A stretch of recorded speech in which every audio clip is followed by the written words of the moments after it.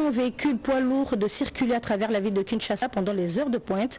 Vulgarisation de cette mesure dans une communication du ministre provincial dans ce journal. Encore une fois, bonsoir.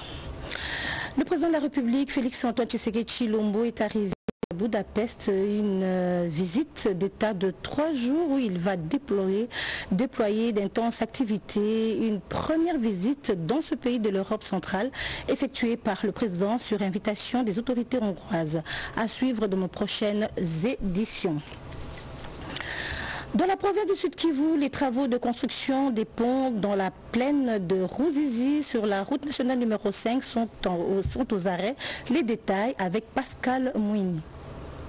Après une semaine d'alerte par l'Office des routes Sud Kivu sur l'arrêt des travaux de construction des ponts sur la plaine de la Rouzizi et dans le territoire d'Ouvera, une mission tripartite, Office des routes, Bureau technique de contrôle et le Fonds national d'entretien routier, FONER, a effectué le jeudi 26 septembre 2024 une visite d'inspection sur les sites pour évaluer les travaux. Le constat est que l'Office des routes travaille aujourd'hui sur le pont Kakenge, parmi les trois ponts financés par le FONER, à hauteur de 60% dans le cadre du programme d'entretien routier 2024. Par contre, les travaux sont à l'arrêt sur les ponts Sangué au point kilométrique 100 et Bikamba au point kilométrique 108 de Bukavu en attente du financement.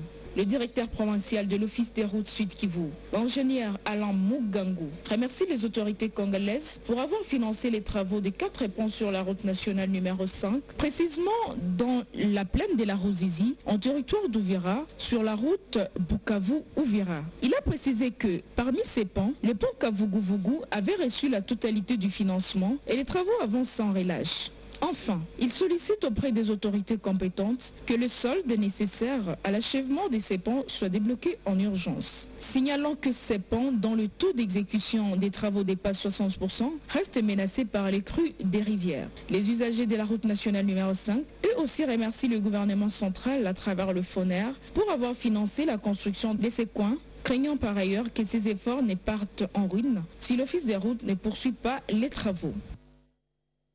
Restons dans la province du Sud Kivu, les travaux d'assainissement sur la route nationale numéro 5 euh, dans la ville d'Ouvir évolue normalement, cela après une tension entre la population de Moulongwe qui avait interrompu ses travaux.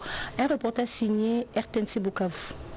La société burundaise EIS-EK respecte les 30 mètres d'emprise comme prévu sur la route nationale numéro 5 dans la ville d'Ouvira. Une précision du bureau technique de contrôle BTC, Office de voirie et drainage OVD, aux autorités urbaines et à la population d'Ouvira.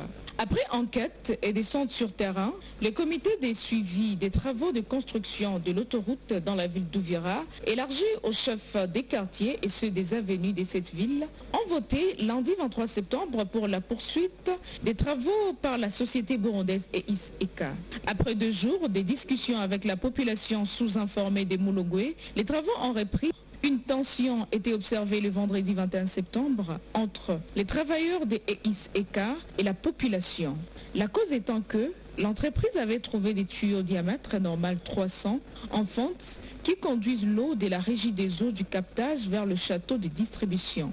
Le chef des missions de contrôle, l'ingénieur Roger Kimpanga du BTC, accompagné de l'ingénieur Papi Bilo de l'OVD pour la mission de surveillance et du directeur des projets EIS-EK, l'ingénieur Élisée Ndoa Maholo ont rassuré la population d'Ouvira de la poursuite des travaux dans le respect des règles de l'art et du contrat.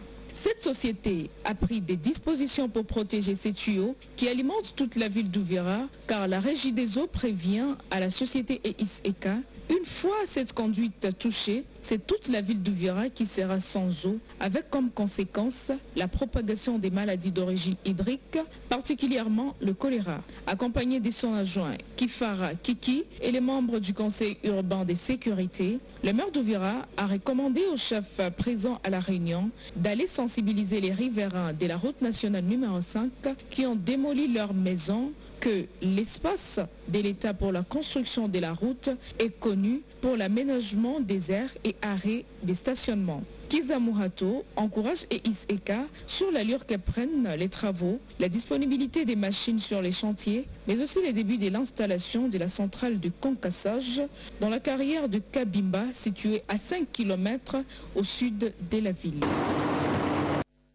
C'est parti pour le lancement des travaux de cantonnage manuel de 20 km du tronçon routier Kindu-Kailo. Travaux lancés par le gouverneur de la province du Maniema, Moussa Kabouakoubi Moïse. Images et commentaires. Dans le cadre des actions de visibilité des 100 jours, le gouverneur de province Moussa Kabouakoubi Moïse vient de lancer officiellement les travaux de cantonnage manuel de 20 km du tronçon routier Kindwa Kailo. La cérémonie a eu lieu ce samedi 28 septembre 2024 dans le village Boulangi en secteur d'Amboué. Les travaux de la réhabilitation de cette route qui vont s'effectuer manuellement sont entièrement exécutés sur fonds propres du gouvernement provincial du Maniement. Nous avons croiser les bras pour attendre à ce que tout le monde vienne de Kinshasa ou des partenaires au développement. C'est comme ça qu'à notre niveau, nous nous sommes organisés en mettant en place euh, des taxes conventionnelles pour réhabiliter nos.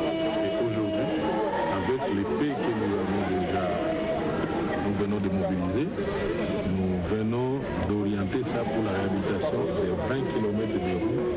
Donc d'ici jusqu'à Kailo, chef-lieu du territoire de Kailo, 20 km de route, et cela va entrer dans le cadre de 100 jours. Le deuxième message, c'est d'encourager tout le monde pour euh, participer dans ces projets de reconstruction de notre province. C'est d'abord nous-mêmes, nous devons d'abord compter sur nous-mêmes avant de compter sur les autres. Chose, les travaux de modernisation et de réhabilitation des bâtiments de l'Institut Kalenda Moudichi de Moujimaï sont interrompus depuis plusieurs mois et les anciens élèves de, de, cet institut réunis en Assemblée générale extraordinaire ont mené un plaidoyer pour la reprise des dix travaux.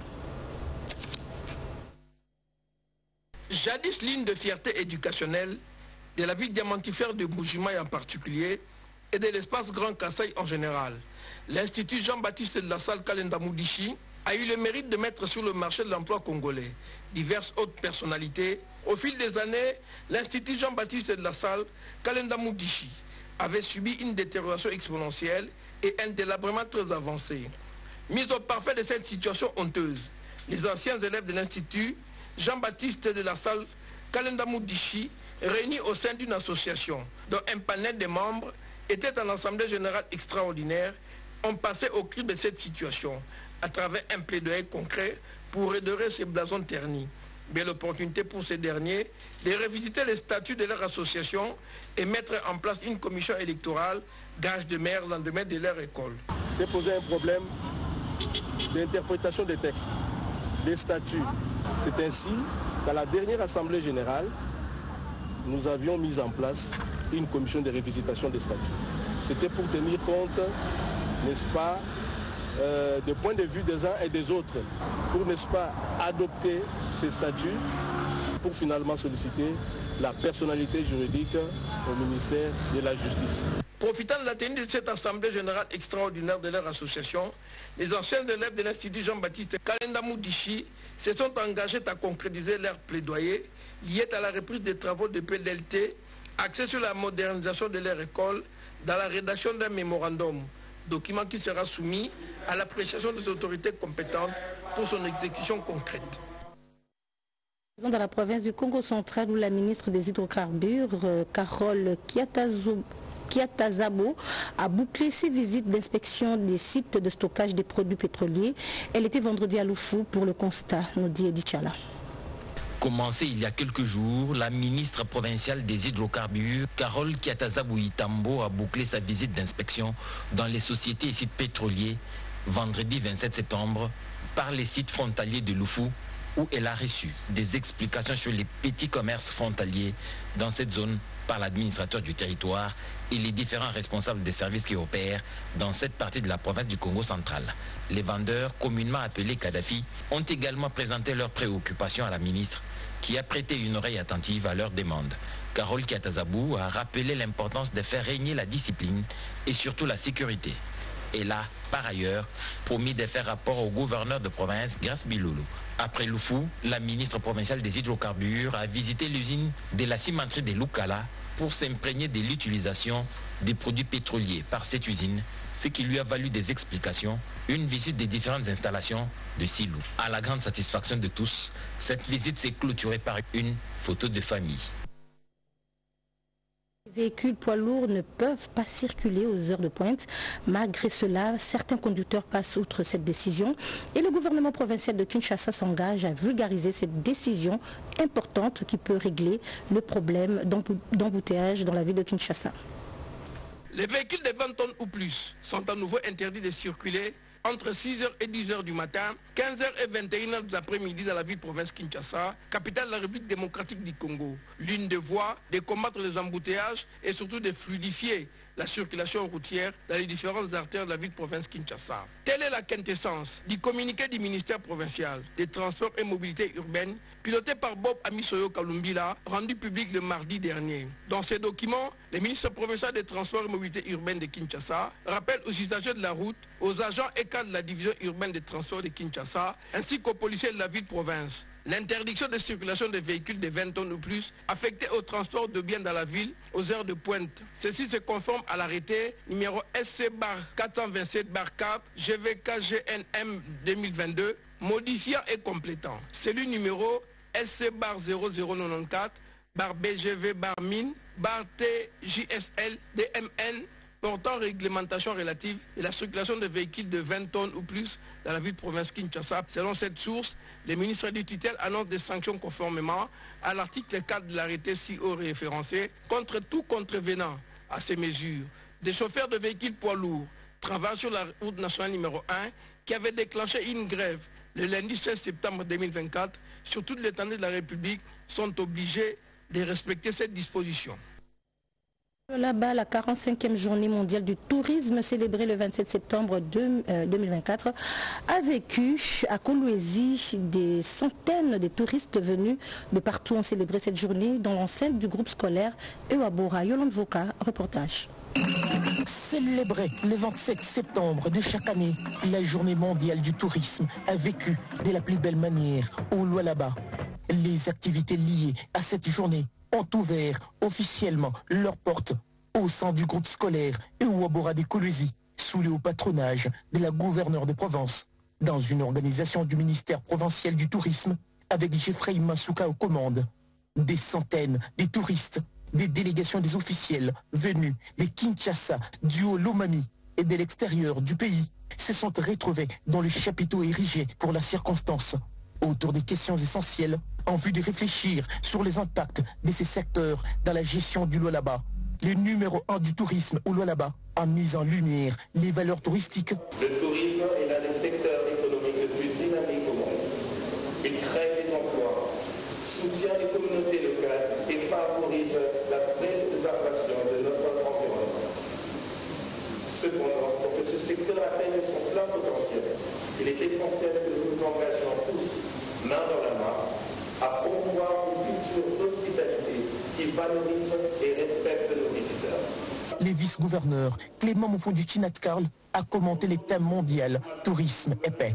Dans la province cobaltifère, les réflexions se déroulent autour du thème national tourisme, hospitalité et développement. Comme vous le savez, son admiration, sa volonté de faire le tourisme dans notre province 50 piliers économiques après les mines, cette vision et la matérialisation du pilier économique de son Excellence, Monsieur le Président de la République, chef de l'État, commandant suprême des forces armées et de la police nationale congolaise.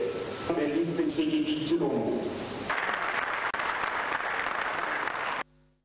Et après une mission dans la province du Tanganyika, le gouverneur du Wolomami, Banza vient de regagner sa province ce vendredi 27 septembre 2024. Parti renouveler les engagements avec les partenaires de la santé dans les Tanganyika. Le patron du Olomami, honorable Banzamouloumé Marmon, vient de regagner Kamina, chef-lieu de la province du Olomami. Au pied de l'avion, il a été accueilli par le vice-gouverneur, le maire de la ville de Kamina, les membres du conseil provincial de sécurité, bien avant de recevoir les honneurs de la police nationale congolaise. Devant la presse locale, le gouverneur Marmo Banza donne le bien fondé de sa mission. Nous sommes allés dans la retraite de la santé notre gouvernement euh, central et même le gouvernement provincial avait pris des engagements dans le cadre de la vaccination. C'est dans ce contexte-là que nous sommes allés renouveler des engagements. Parce que nous avons la mission, nous, comme l'État, de protéger notre population. C'est la première richesse que nous avons. Le chef de l'État au niveau national, il a pris les engagements avec euh, les partenaires dans le cadre de ces six piliers. Nous les remercions d'abord le chef de nous remercions la Première ministre et notre gouvernement central qui déploie beaucoup d'efforts pour protéger notre population. Nous, comme gouvernement, nous nous sommes d'abord engagés à payer l'argent pour la vaccination de nos enfants. Cette mission bénéfique pour les fils et filles du Holomami a permis à l'autorité provinciale de multiplier certains contacts au bénéfice de la province. Le gouverneur Marmo Banzamouloumé fait de la vaccination son cheval de bataille pour le bien-être de tous. Dès l'aéroport, le chef de l'exécutif provincial a pris la destination de son bureau pour d'autres fins critique de la contribution de la communauté internationale au processus électoral en République démocratique du Congo intitulée la thèse soutenue par Dekamatondo Damas aux facultés des sciences sociales, administratives et politiques à l'université de Kinshasa. Un reportage signé Anim Baraka. Critique de la contribution de la communauté internationale au processus électoral en RDC, sujet de mémoire des diplômes d'études supérieures en relations internationales, défendu avec brio par Dekamatondo Damas à l'université de Kinshasa. Dans son exposé des motifs, le récipiendaire a démontré comment est-ce que la communauté internationale a une grande influence dans les processus électoraux en RDC, en commençant par les élections de 2006 et de 2011. Pourtant, la RDC pouvait s'autofinancer compte tenu des richesses qu'elle regorge. Dekamatondo Damas a, dans ses arguments, critiqué la contribution de la communauté internationale au processus électoral en RDC, laquelle ne va dans le sens de conduire les élections dans la transparence, mais plutôt avec une idée d'imposer sa volonté au détriment de la population. Intéressé par ce sujet, le rapporteur de l'Assemblée nationale, le professeur Jacques Joly, a demandé aux récipiendaires de faire la critique rationnelle sur l'implication de la communauté internationale dans les processus électoraux en RDC, la responsabilité de l'État congolais dans la protection de la population sur la prédation de la communauté internationale. Après concertation à huis clos, le jury a délibéré des Kamatondo Damas avec la mention grande distinction. Un jury composé des éminents professeurs, nous citons le professeur Jacques Joly, président, le professeur Kabuita Kabolo, secrétaire, le professeur Ngila Mouke, directeur, le professeur Taziten Abe et le professeur Meyangemba, membre.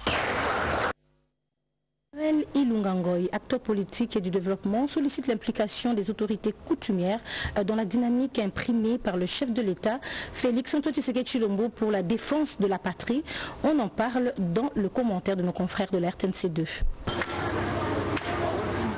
Sa parole devenait de plus en plus rare sur la scène politique congolaise, mais comme le besoin se faisait sentir, Emmanuel Ilungangoy a décidé de rompre avec le silence et a effectué son comeback politique après six longues années. Question d'observer de près la marche de l'État et y apporter son grain de sel. Pour son tout premier contact avec le public, le président national de l'ARP a fait honneur au chef coutumier qui l'emballe dans un échange franc autour des sujets brûlants en RDC. Il fallait venir pour remobiliser la population, pour leur dire que maintenant, il faut euh, faire les choses autrement. Ce qui est plus important, c'est de rester au pays et trouver des solutions avec les Congolais, parce que nous avons les solutions ici même dans notre pays. Dans cet élan patriotique, l'acteur politique Emmanuel Ilungangoy propose de mobiliser les énergies nécessaires afin d'aider le chef de l'État, Félix Antoine Tshisekedi Chilombo, à avancer et surtout à réussir son second mandat. Séance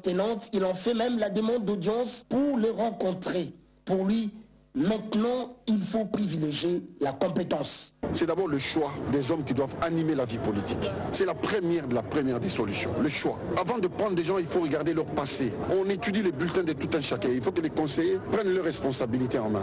Et la compétence n'a pas sa place. Parce que c'est une question de l'avenir d'une nation. Et ça, on a besoin des gens compétents qui peuvent agir pour le bien de tous. Face à la crise sécuritaire qui prévaut dans l'Est de la RDC, le président national de l'ARP condamne l'agression rwandaise sous couvert du M23. Cependant, Il invite le gouvernement congolais à prendre des décisions courageuses pour qu'il y ait une paix définitive dans cette partie du pays.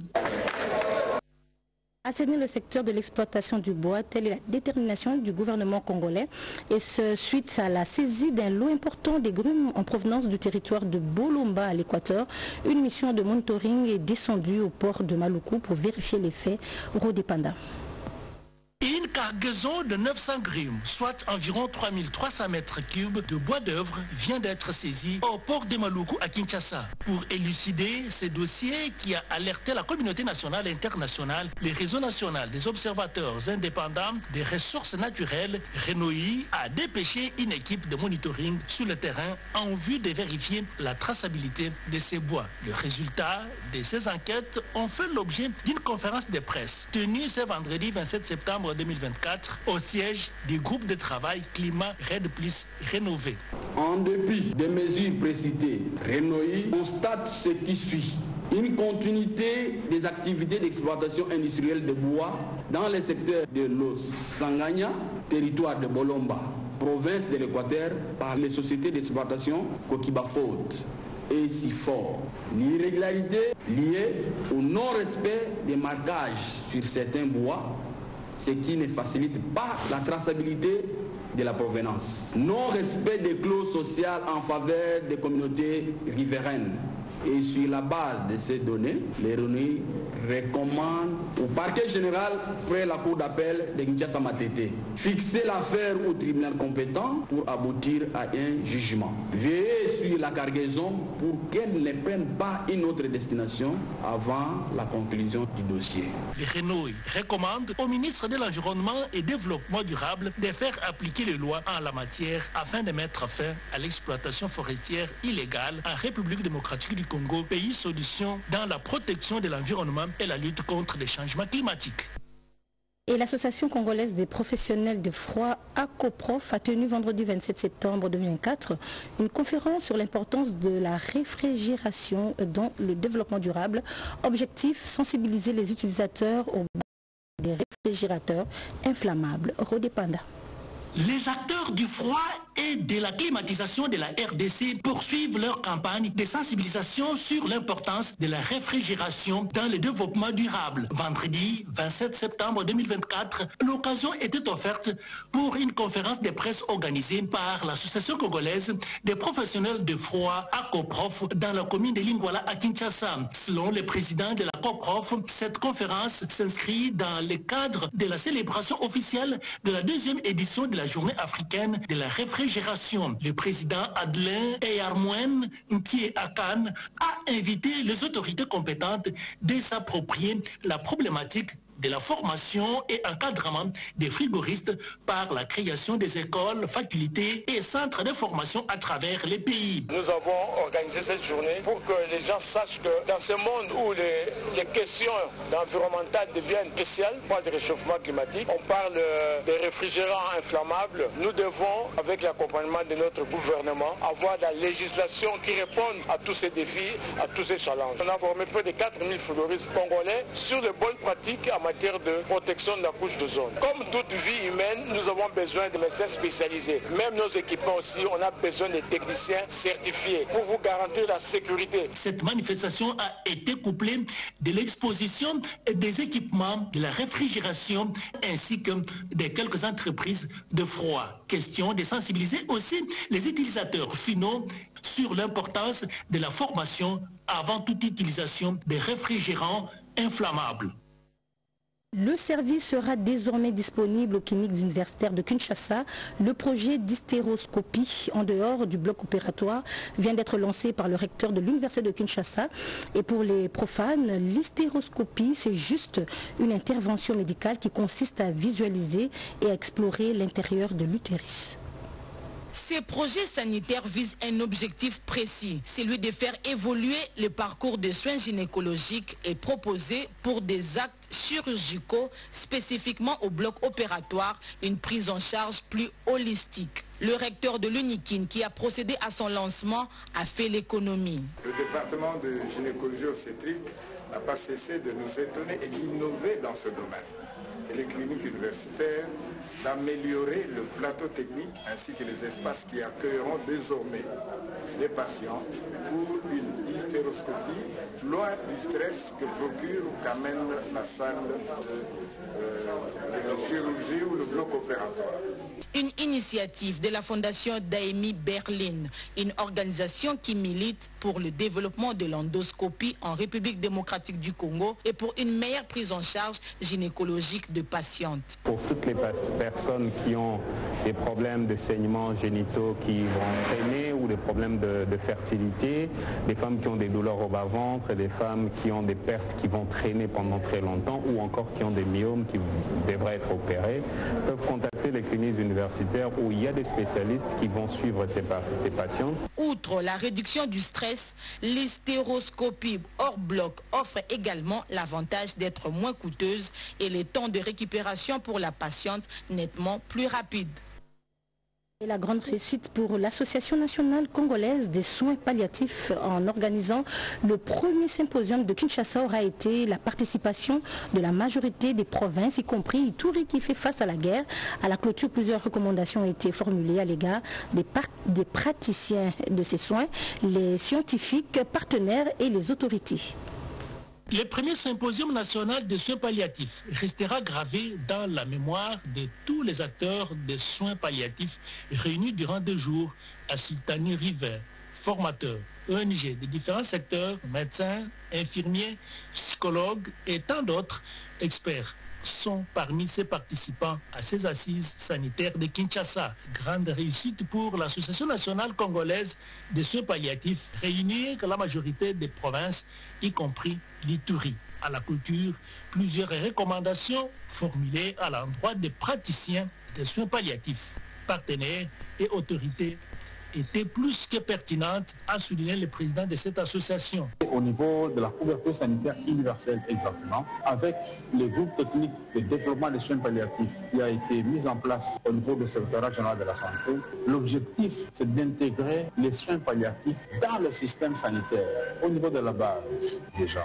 C'est ainsi qu'au niveau du PENDES, les soins palliatifs cette fois-ci ont une place un peu plus importante que ce qu'il y a eu dans les autres peines baisse des années intérieures. Les soins palliatifs exigent non seulement l'accompagnement du malade, mais aussi l'assainissement de son entourage, c'est-à-dire sa famille, sans oublier la bonne communication, des éléments aussi indispensables dans les soins palliatifs. Et puis, euh, la journée mondiale du cœur célébrée le 28 septembre a bénéficié en République démocratique du Congo de la première édition euh, de la semaine du cœur qui avait pour thème activité physique pour un cœur sain. Tourné autour du cœur, avec comme thème l'activité physique pour un cœur sain. Les scientifiques et experts sanitaires se sont retrouvés sur initiative de la Ligue congolaise contre l'hypertension artérielle en collaboration avec le programme national des maladies cardiovasculaires et l'Université de Kinshasa avec l'appui technique de Sanofi dans le cadre de la première édition de la Semaine du cœur organisée du 23 au 29 septembre 2024, symposium consacré à des séances de réflexion et de sensibilisation sur les maladies du cœur. L'exercice physique étant indispensable et recommandé pour éviter les pathologies du cœur. Mieux, celles liées à toute la famille des maladies chroniques non transmissibles. Qu'est-ce qu'il faut connaître pour bien prendre soin de son système cardiaque et se prévenir Le président de la Ligue congolaise contre la tension artérielle, le professeur Mouyamba, explique. Nous avons essayé par cette célébration de la semaine de sensibiliser la communauté euh, aux bienfaits de euh, l'activité physique sur les systèmes cardiovasculaires et même sur les maladies euh, chroniques non transmissibles en général. Le directeur du programme national de lutte contre les maladies cardiovasculaires, le docteur Emmanuel Limbolé, pense qu'avec 30% d'adultes exposés aux maladies du cœur, il faut intensifier la sensibilisation. Il est donc très important de mettre l'accent sur la prévention. Et, et, donc la prévention de l'hypertension artérielle, la gestion de l'hypertension artérielle permet de, de, mieux gérer les complications de artérielle, parmi lesquelles les plus fréquentes, c'est l'accident vasculaire cérébral, l'AVC, et l'insuffisance cardiaque. Pour le professeur Dr Bouila, il faut bien écouter son cœur et son corps et en cas d'une crise, savoir secourir. Pour les scientifiques, un dépistage précoce vaut plus pour éviter le pire. L'ambassade de la Russie a organisé une soirée du cinéma russe. Le film projeté lors de cette cérémonie était intitulé Navire volant de 2024. Un reportage signé Christine Lenzo, Simon Kankolongo. Soirée du cinéma russe à la salle La Perle de la paroisse Sainte-Anne, les invités ont eu droit à la projection du film musical russe intitulé Navire volant de 2024, basé sur les dessins animés soviétiques de 1979 portant le même nom. Une soirée réussie grâce à l'organisation d'État russe Roskino qui a fourni à l'ambassade ce film remarquable pour le projeter pour la première fois à Kinshasa le vendredi 27 septembre.